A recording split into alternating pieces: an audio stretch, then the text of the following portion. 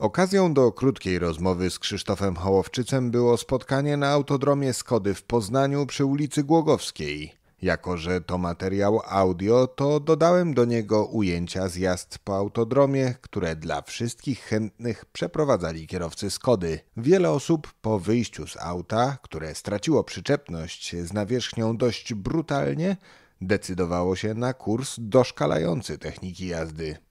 Hołek był z kolei gościem zaproszonym przez organizatorów na zawody, w których wyłaniano poznańskiego taksówkarza roku. Pierwsze, może nieco zaskakujące pytanie dotyczyło różnic między jazdą rajdową a codzienną jazdą autem na trasie lub po mieście. No cóż, oczywiście podstawowe zasady, czyli e, umiejętność oceny sytuacji. E, oczywiście może jest na innym poziomie w rajdzie, bo jest adrenalina, są ogromne prędkości, są twardo umocowane przedmioty, czasem drewniane przy drodze, e, przy których trzeba z dużymi prędkościami przejeżdżać, ale nie oddzielałbym za bardzo tego poczucia raz odpowiedzialności, poczucia, że jednak nawet 60 czy 80 na godzinę jadący samochód jest bardzo niebezpieczny. Nie mówię tylko, że dla nas w środku E, siedzących, otoczonych, bo takie mamy poczucie zawsze, no tyle metalu w koło, to jest takie e, urządzenie, które gwarantuje testy zderzeniowe, poduszki powietrzne. O, wyobrażamy sobie, że jest tak dobrze. E, jak się uderza mocno, nie jest tak dobrze. A, a, a jest jeszcze inna bardzo ważna rzecz. Pieszy, E, rowerzysta, e, wszyscy ci, którzy w zasadzie gołym ciałem stykają się z naszym samochodem, gdy nam coś nie pójdzie, trzeba mieć tą świadomość. Trzeba sobie wyobrażać, że jadąc samochodem e, możemy po prostu zrobić komuś krzywdę i to jest też ten element, o którym bym nie zapominał. Kolejna kwestia dotyczyła różnic między autami współczesnymi i tymi, które poruszają się po drogach od ponad 20 lub więcej lat. Z różnej perspektywy można to spoglądać. Jeżeli chodzi o własności konstrukcyjne, o strefy zgniotu, e, zdecydowanie starsze samochody mają dużo mniejsze szanse e, przy wypadkach. E, dalej systemy, w które wyposażane są najnowocześniejsze samochody, tak bardzo pomagają. Przepraszam za to określenie, ale my w naszym świecie sportowym to określamy, są dużo bardziej idiotoodporne.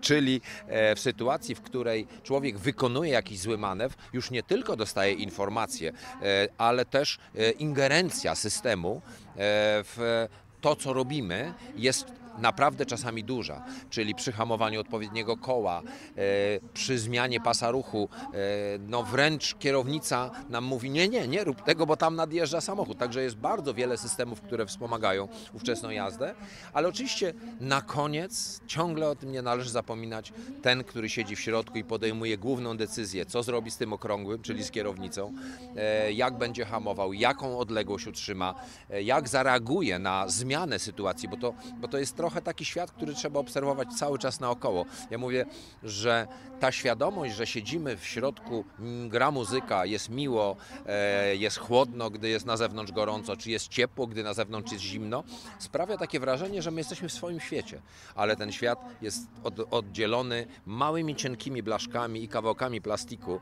od twardych przedmiotów.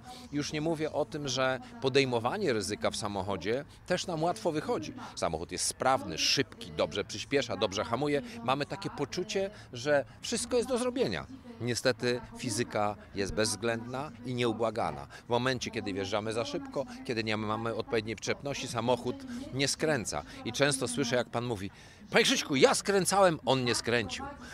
No więc nie on nie skręcił, tylko podjąłem błędną decyzję, wjechałem za szybko w zakręt, nie oceniłem nawierzchni, nie oceniłem tego, co się dzieje wokół mnie. To jest ta wielka sztuka oceny tego, co jest w koło. To, co powiedziałem, patrzymy 360 stopni naokoło, wtedy mamy największe szanse, żeby nikomu nie zrobić krzywdy. Potem płynnie przeszliśmy do kwestii szkolenia młodych kierowców w Polsce, a właściwie do przygotowywania kierowców do zdania egzaminu. Hołowczyc przyznał, że młodzi kierowcy bezpośrednio po wyjściu ze szkół jazdy spotykają się z brutalną dla nich drogową rzeczywistością.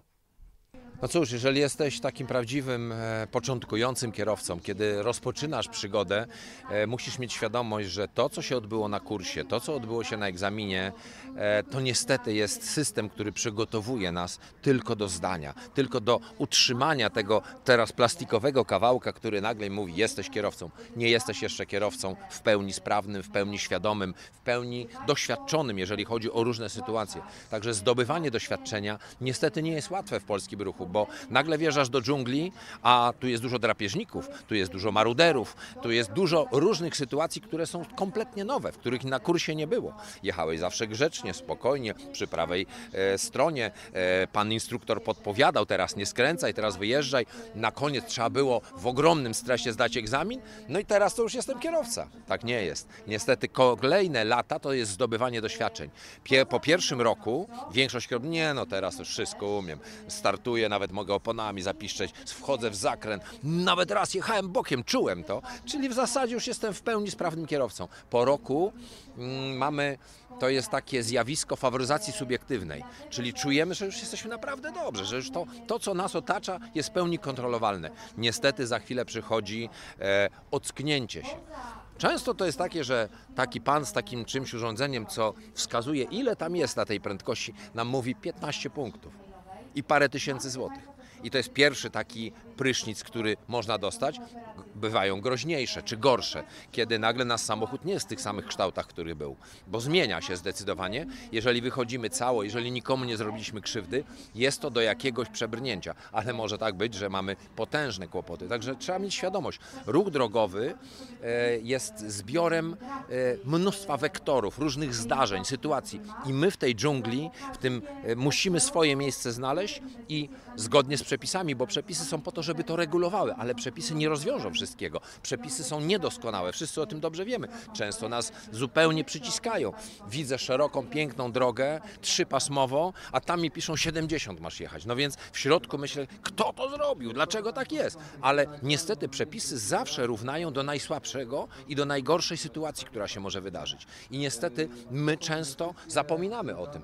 Ale z drugiej strony jest zakręt, jest e, napisana odpowiednia prędkość, jest ślisko, czy niestety nasze asfalty, które są z różnych robione mm, pod, z takich kawałków, że są bardzo śliskie, jak spadnie woda. Są takie zakręty w okolicach Katowic, że 40 na godzinę wjeżdżając masz pewność, że uderzysz w barierę i, i niestety takich sytuacji w Polsce, nie tylko w Polsce, jest bardzo dużo i trzeba zdobywać doświadczenia, trzeba mieć tą świadomość, że muszę cały czas mieć tą wewnętrzną czujność, że wszystko się może zdarzyć.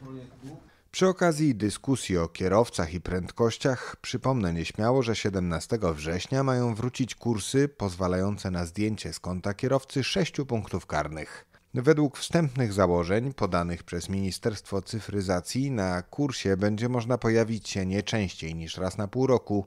Nie będą mogli też skorzystać z niego kierowcy, którzy mają prawo jazdy krócej niż rok. Dlatego ważne to z perspektywy młodych kierowców.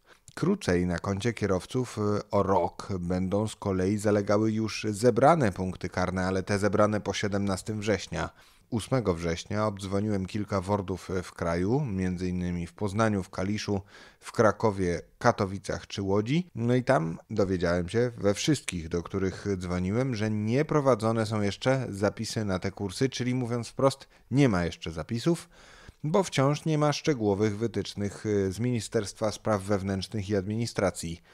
W łódzkim y, Wojewódzkim Ośrodku Ruchu Drogowego zaproponowano mi zapisanie na roboczą listę rezerwową, y, która po wejściu w życie przepisów ma stanowić taki już bardziej oficjalny harmonogram, kiedy to pracownicy ośrodka będą obdzwaniać tych kierowców, którzy już wstępnie zgłosili się na tę listę. Ciekawa sprawa, nie ma co tego oceniać. No cóż, yy, wojewódzkie ośrodki ruchu drogowego po prostu szukają jakiegoś rozwiązania. Być może to jest właśnie jakieś rozwiązanie, na pewno coś dla ludzi, jak się nie ma dokładnych wytycznych. Podobnym y, wyzwaniem y, dla ośrodków jest organizacja praktycznej części kursu, który w tej nowej odsłonie, po chyba rocznej czy dwuletniej przerwie, ma trwać nie 6, a 8 godzin, a te dwie godziny, o których y, mowa, te dwie godziny różnicy, ma być to część praktyczna polegająca na bezpiecznym hamowaniu, przynajmniej tak wstępnie e, informuje resort cyfryzacji. No i podobno organizacja tego bezpiecznego hamowania w niektórych ośrodkach ruchu drogowego, gdzie prowadzone są egzaminy i bywa ciasno, jest całkiem sporym wyzwaniem. Od jednego z wordów dowiedziałem się, że kwota, o jakiej mowa, mm, żeby zredukować liczbę punktów karnych, to ma być około 1000 złotych. To tyle z mojej strony na teraz. E, będzie więcej być może takich treści czytanych też. Dajcie znać, czy Wam się podoba, czy nie i ewentualnie jakie tematy powinienem podejmować. Pozdrawiam, do usłyszenia, cześć.